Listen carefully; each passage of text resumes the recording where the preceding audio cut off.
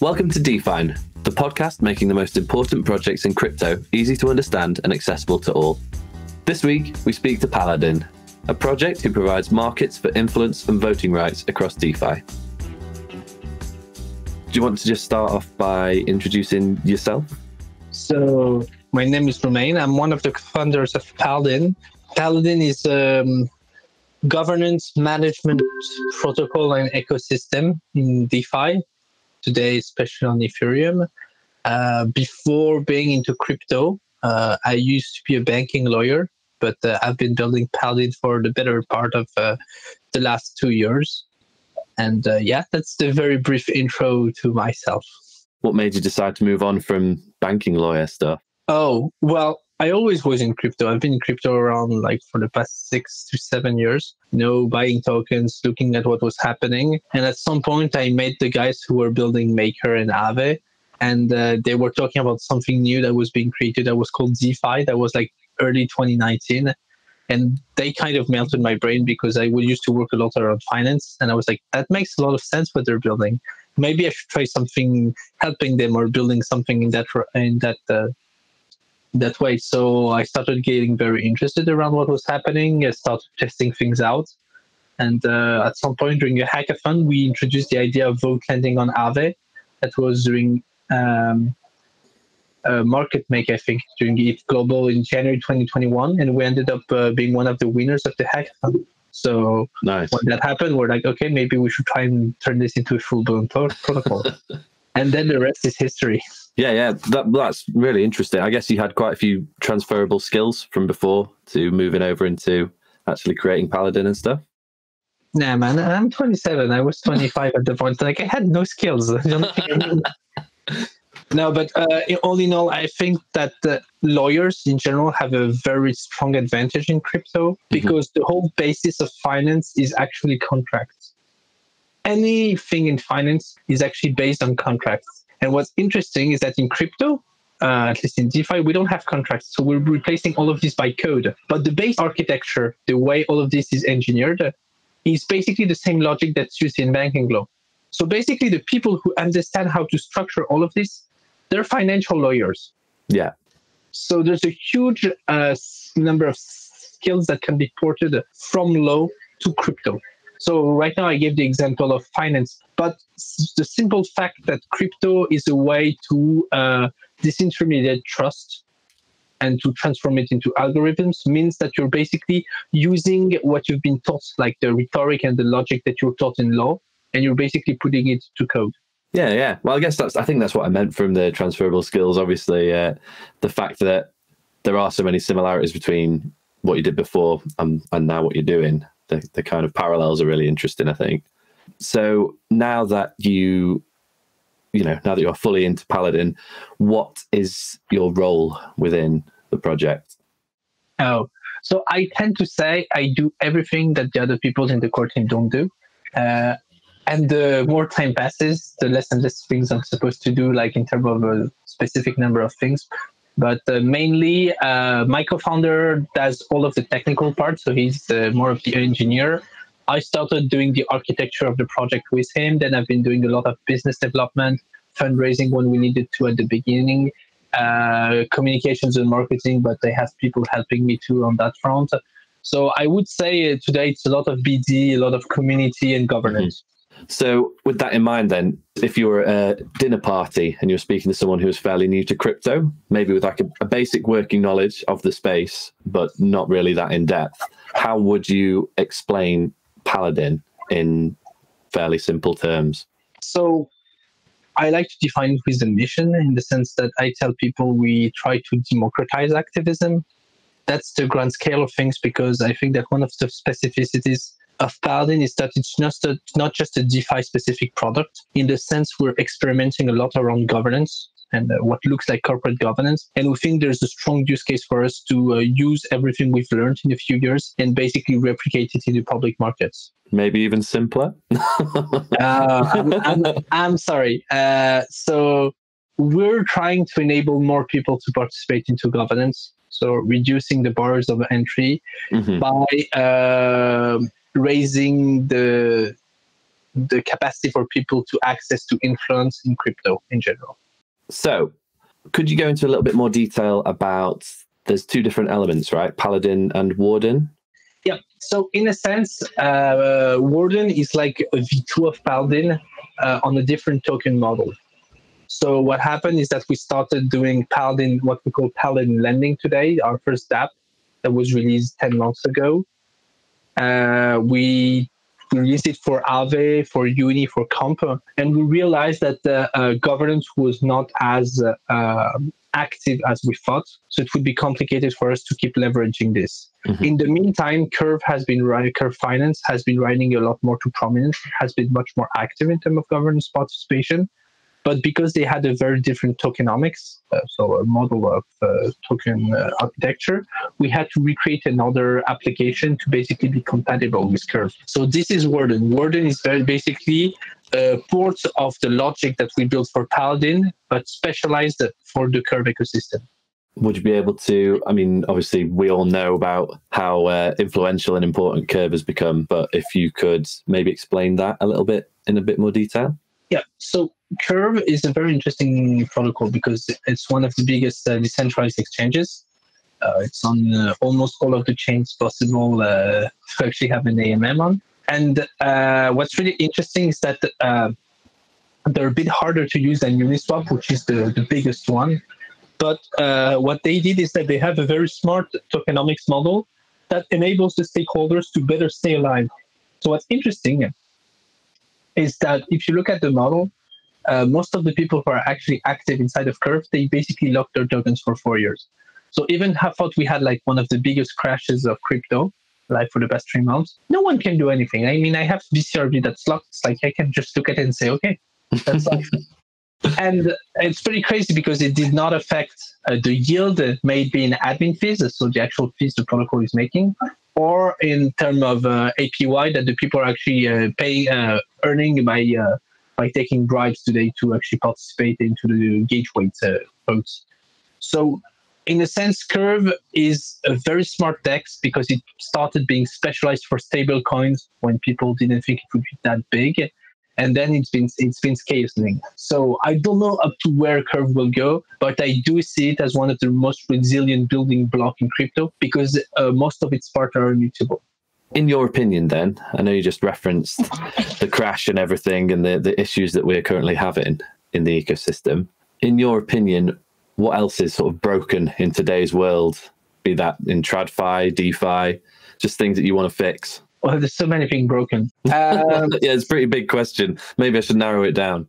No, no, no, no, no let's go for it. Yeah, yeah. I think we should go for it because, to be honest, uh, we're not enough ambitious in crypto uh, the way I see crypto, it's a way to replace part of the trust chain we have in society by algorithms. It doesn't mean we should replace everything by algorithms. I think that's kind of dystopian.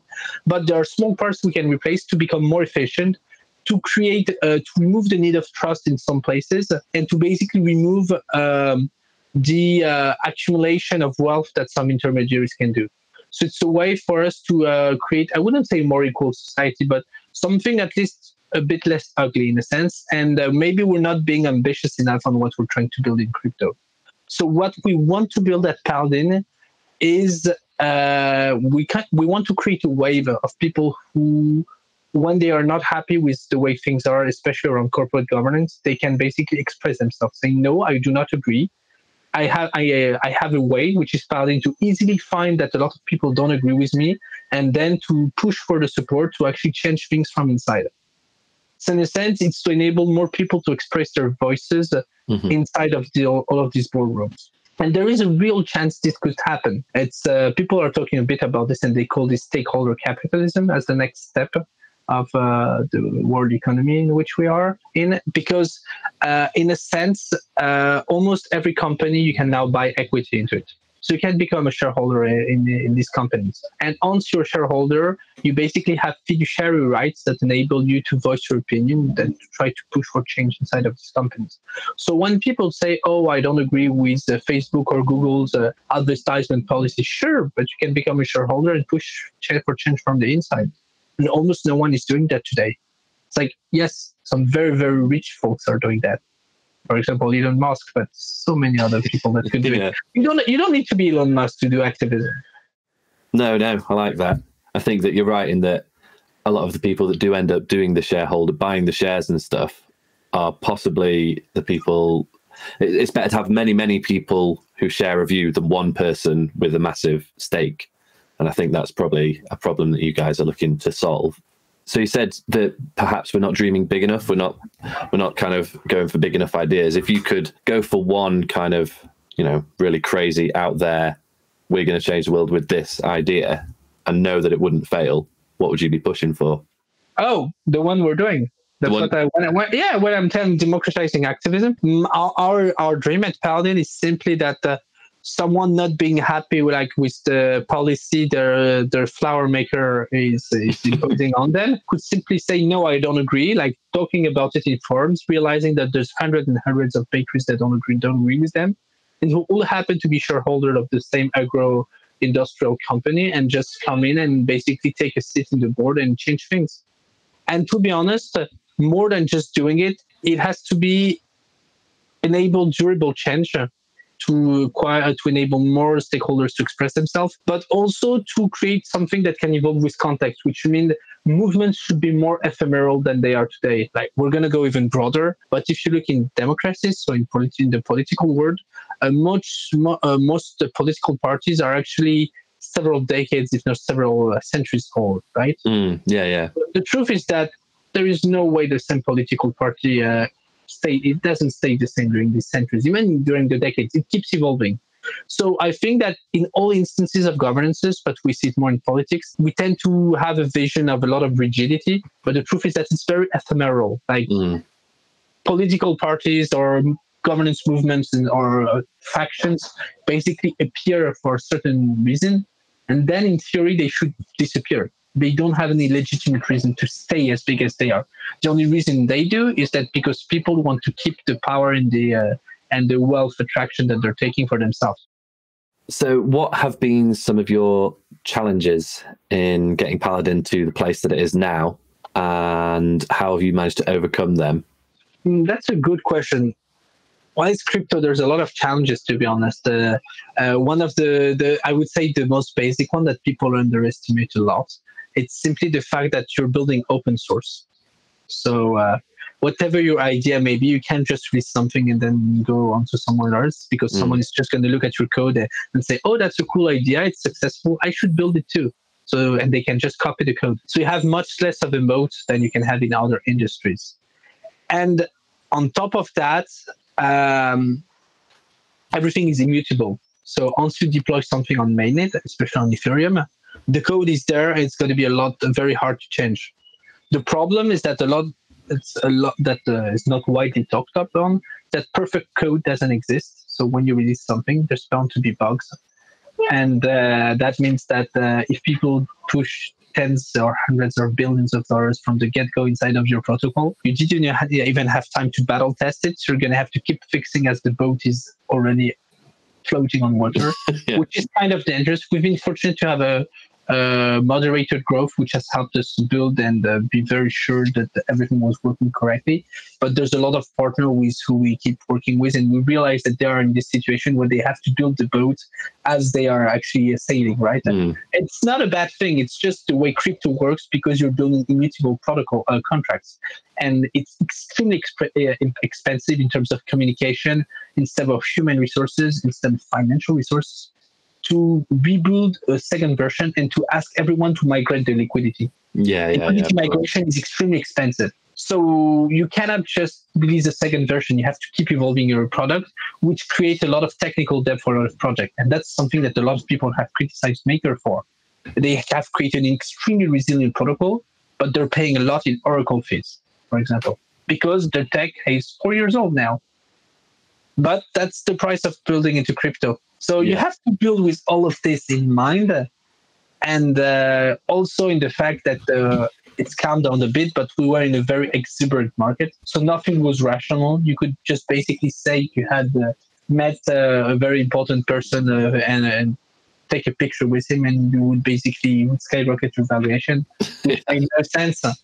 and um, and now even if you release like the biggest step uh, of uh, the life cycle of your protocol, it's not going to change the valuation. Like people just don't care. So it's a lot more irrational than traditional companies which I guess is kind of a pro and a con. The fact that you have to keep building the boat as as it's setting off is is probably what drives the uh, industry to be so kind of iterative and, and fast growing and stuff. But then also, I can see how a little bit more time to battle test stuff would be a, a bit of a dream.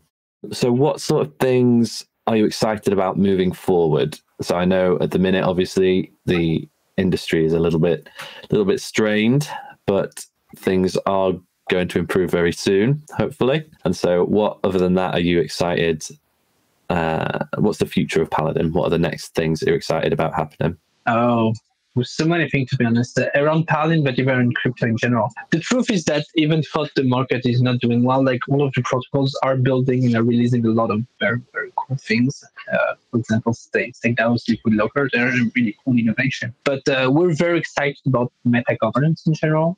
Uh, it's always been a topic that we've been uh, super inclined to work around. There's not that many people who are on meta governance, but everyone keeps being bullish on it. I think the, the, the simple truth is that we failed to harness and create value out of meta governance up until today. And that's probably because you uh, because of uh, a lack of UX. I think it's uh, we we want to put the concept of meta governance in the face of people, but uh, people don't really care about governance when it's simple. So if you put it in an even broader and more complicated term, it, it will work even less. yeah.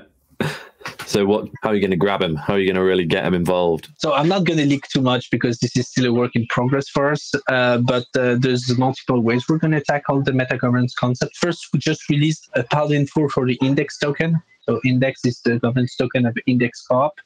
What's interesting is that Index Co-op is uh, they basically build an ETF for crypto or multiple ones. And their biggest one is an ETF for DeFi, in which they have a lot of the blue chip projects, probably all of them. So they have YFI, they have uh, Aave, Comp, Maker. All of these guys are uh, inside of this uh, index. And uh, uh, the index is called the DPI, DeFi Pulse Index. What they did is that they took away the governance power. It's basically the holders of index, so their governance token, that's basically managing the governance power of the people that were underlying of the ETF. So I hope I'm being uh, clear enough with this because it can get very complicated very quickly. But what's interesting is that they basically have proposal power for most of these protocols. So it costs dozens, if not hundreds of millions of dollars uh, to be able to create or, or pass the proposals in the biggest projects in crypto. Uh, with Index, you're basically creating a leveraged way to access governance uh, on these big protocols like Aave, for example. Mm-hmm. So we're basically, if our tokening techniques are a way to get leverage on your governance power, you're basically getting leverage on the leveraged uh, token by itself. So it's like a square. You basically squared your your leverage on governance. And the truth is that if it costs maybe uh, one Aave token is maybe today it should be sixty dollars, and you need I think uh, hundred thousand Aave or something like that to basically just uh, pass the quorum for a mm. proposal. Mm uh, while with index, they basically have 90,000 Aave, and you would need uh, quorum on index to basically uh, move and decide with this 90,000 Aave. So this they're like 12 times cheaper than index. So you're already paying 12 times cheaper to basically access to that. And then if instead of just buying that, you're borrowing their voting power, you're maybe going to pay 10 times cheaper. So you're basically accessing the same governance power for 120 times cheaper in period. That was that was really well explained, actually. What, in your opinion, gives governance tokens their value? What makes them so important and crucial to the crypto ecosystem? There's been a very big debate that we've been seeing, especially on crypto Twitter, about the fact that governance tokens are useless and that we've been wrong, that we should have never done governance token. So this happened in 2018 too. When there's a crash, people are like, "Oh wow, we should have never re- re- uh, released any gov- uh, any tokens. Uh, that was a very bad idea." And then uh, for two years, no one talked about tokens anymore. You could build in crypto, but releasing a token was very, very badly seen. And the person who broke the emerita was Curve Finance, actually. When they released their token, and most of the people actually delete their reactions to that, but uh, if you were there at that point and you can't really find them anymore, uh, a lot of big uh, crypto Twitter players were saying, "Oh, look, that's a very scammy behavior." Remember what happened in 2018 and 2017 when people did that with the ICOs. And uh, as time passed and as DeFi summer came, we forgot about all of this. We're like, yeah, any token is good. So a lot of new scams appeared. And now we're seeing again, because it's the end of the cycle, people saying, oh, governance tokens are worthless. But that's not true. Uh, the truth is that uh, today, when you're building a DeFi protocols, you have two options. Zero governance, so full immutability. It's what Liquity has been trying to do. Or you're going to have to admit that at some point, you're going to need to upgrade your protocol. Or that part of the value of your protocol is going to come from coordination of the various stakeholders. And this coordination has to come from a certain governance mechanism because governance is simply a decision making structure, right? So if you need something upgradable and decentralized, you need decentralized governance. There is simply no way around it. So what people are telling you is that instead of having uh, a governance token, maybe you should have NFTs. Sure, but what's going to be the difference with a token? Like an NFT is just like a different type of token. Uh, they can tell you, okay, but we're only going to give it to certain type of contributors who do something. Okay, you can do that too. But the problem is that if you do so, you're removing almost any capacity for your project to actually have a fundraising mechanism because no one's going to want to invest into something if you don't give them something in return. And if you can't give them governance power, what are you going to give them? Dividends, right? How many protocols are actually making money today in crypto? Maybe 50? Paladin is one of them. I know StakeDAO is one too, but there's very, very few of them. And we we've basically been working full time on Paladin for 14 months um, we've been live for 10 months and we're only profitable this month. It's the first month yeah, we yeah. are. We, now it's going to last because Quest is a very sustainable business and we have clients like in our pipe and we know it's going to keep running. So we're not worried. But it takes time and it's very hard to achieve. So if you're promising to people dividend rights instead of governance power and that you're separating governance from dividends, a lot less people are going to participate in governance. And there's already quite uh, not that many. and uh, a lot of people who are trying to raise will simply never be able to raise because a lot of uh, normal investors will realize that there is no way this project is going to make revenue. So it's a more potentially a more uh, interesting approach, but the truth is that it's going to kill 95% of the market if we do so. And there's something else that we haven't mentioned on top of that, and then I will end my rant. uh, the truth is that the biggest and most lucrative protocol, so just to give uh, Aave YFI maker. So the guys who are making a lot of money, millions and millions, and that's good. It's proof that DeFi is working right. They already have a very distributed stakeholder base through the token, so they cannot go back. They can build on it, but they have some costs in terms of they cannot just say, okay, we're going to discontinue the governance token and we're going to do something else. The truth is that the biggest project in crypto are using governance token. So there's probably a new model that's going to appear, and I can't wait to see what's what it's going to be. And we at Paladin will follow this uh, movement and we'll try to build for it. But the truth is that today governance tokens is de facto model. Yeah. And I think that's something very important to understand. And that's why I'm very happy when I see what StakeDAO is doing with the liquid lockers, what we're able to, uh, to release today, what people are trying to do when they're trying to adapt the V tokenomics to their own project it's a proof that people want to evolve, but they also acknowledge that there's some kind of sunk cost that we have to be careful on today. Yeah. And if new projects don't want to release a governance token, they shouldn't. But the truth is that they're here to stay. Yeah, it's a tried and tested method, isn't it? It's building on building on some strong foundations, which I think is what a lot of people are doing at the moment. Yeah, well, it, it goes even further than that. You know, uh, in in DeFi and even crypto in general, we tend to have the hubris to think that we're reinventing a lot of things.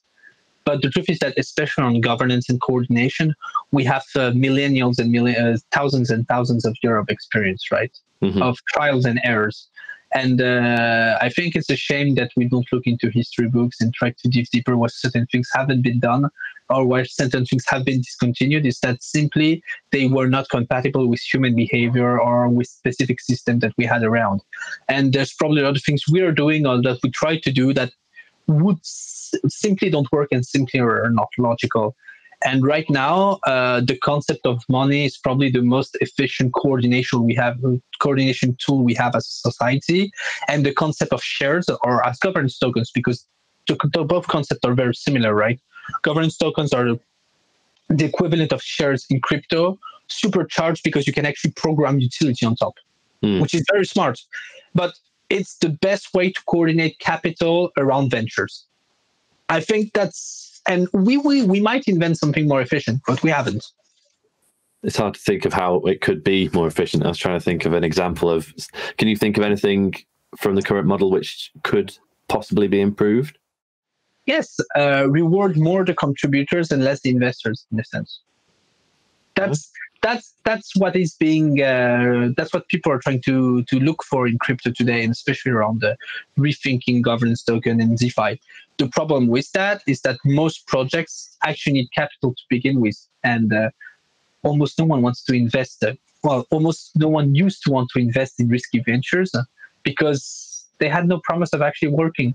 But because some of them worked so well in the last, last past years, everyone has been rushing to uh, to startup uh, financing, right?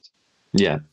But that's probably going to move away again, right? Because it's not a lucrative opportunity. A lot of people are going to lose a lot of money in that. I guess we just have to keep keep trying, keep seeing uh, the next way to do things, right? yeah, it's as long as you keep building, you keep building like uh, you have the right drive and you keep making revenue. There is nothing that's going to stop you. Even even if your token goes to one cent, it does not matter if you keep making revenue, keep churning out tech, because at some point the fundamentals will catch back with the truth of the market. Do you want to talk a little bit more about? Um, and you mentioned Quest then. Um, I don't know if we've spoken in too much depth about it so far. Is there anything no, it's true. We haven't. So Quest, uh, it's the latest iteration of uh, our DApp. When we mentioned we had Paladin and Warden, Warden is our second DApp for uh, for of Paladin uh, for vote lending. It basically has two functions. The first one is a boost marketplace, and the second one, which we call Quest, is a gaze acquisition marketplace. So let's just uh, unwrap a bit. When you are in Curve Finance, you have the governance token that is called CRV. Mm-hmm. This governance token is useless. It's just a speculative asset. What you have to do is you have to, you have to lock it for up to four years to actually gain utility from, utility from that governance token. And once you lock it for four years, you gain four different utilities, which is a lot. Like there's very few tokens that are as generous. The first one is that you gain uh, what we call governance control. Like every governance uh, token. So what you're able to do with this is basically control the parameters of the protocol. So basically vote with the others on how the parameters are going to be uh, tweaked. That's the first thing. The second one is you get the admin fees. They're shared between all of the veCRV holders. And the admin fees is basically all of the fees Curve Finance is making. Because what's very interesting is that Curve is actually not making any money. They're constantly re- uh, redistributing everything which is why it's some kind of immutable public good, we could say. This, the third thing, on top of the admin fees and the parameters, is that basically Curve tokens aren't fully distributed. There's an emission schedule for something like the next 300 years. And basically, every year, the emissions are reduced by 15 or 16%. And what happens is that every week, there's 4.3 million CRV tokens that are distributed right now. And people who control veCRV control to which pairs in the protocol, liquidity pairs, the CRV tokens are going to go. So what happens is that you're basically controlling the inflation of the token through this gateway. And that's everything that you hear about the curve wars come from these weight votes. And that's what curve enables you to access. Uh, with Quest, we enable people to uh, buy votes to get the emissions because up until a certain price, it is interesting to buy these votes because it's going to be more interesting than actually creating your own liquidity mining program or that actually directly buying CRV. It's cheaper to buy the vote. And the third and fourth thing is the boost. So now what happens that the distribution that's made in emission is down to the people who are providing liquidity into Curve. So the way it happens that the more underlying veCRV you have, the more providing liquidity is going to bring you money.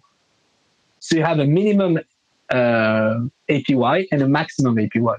And using something like Quest, uh, sorry, like Warden, like Convex, or like StakeDAO enables you to rise to, to raise the APY that you could have by farming on Curve indirectly.